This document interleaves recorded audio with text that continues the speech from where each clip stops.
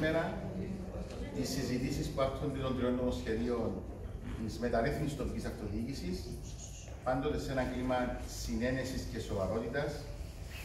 Θέλω εδώ να εξάρω την βούληση του Υπουργού Εσωτερικών και των συνεργατών του, διότι για ακόμα μία φορά μέσα σε ένα πλαίσιο συναντήληψης και συνεννόησης, αλλά και προεργασίας με τους εταίρους, την Ένωση Δήμων και την Ένωση Κοινοτήτων, καταφέραμε σήμερα να προχωρήσουμε ακόμα ένα βήμα πιο κάτω, μπαίνοντας σε λεπτομέρειες που άπτονται και οικονομικών θεμάτων και θεμάτων δομής, αλλά και περαιτέρω δικαιωμάτων, ευκαιριών, υποχρεώσεων του άπτονται τις κοινότητες και τους ε, Δήμους μας.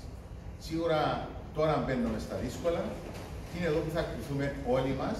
Είμαι πεπισμένος ότι η Επιτροπή Εσωτερικών, όπως έχει αρχίσει, θα συνεχίσουμε. Το χρωστάμε στον πολίτη, το χρωστάμε στην μεταρρύθμιση, στο Ταμείο Ανάκαμψης και Ανθεκτικότητας, αλλά πρώτα και πάνω απ' όλα στο καλό νόμιμο συμφέρον αυτού του τόπου. Είμαι αισιόδοξος ότι η μεταρρύθμιση της τοπικής αυτοδιοίκησης θα έχει αίσιο και θετικό τέλος.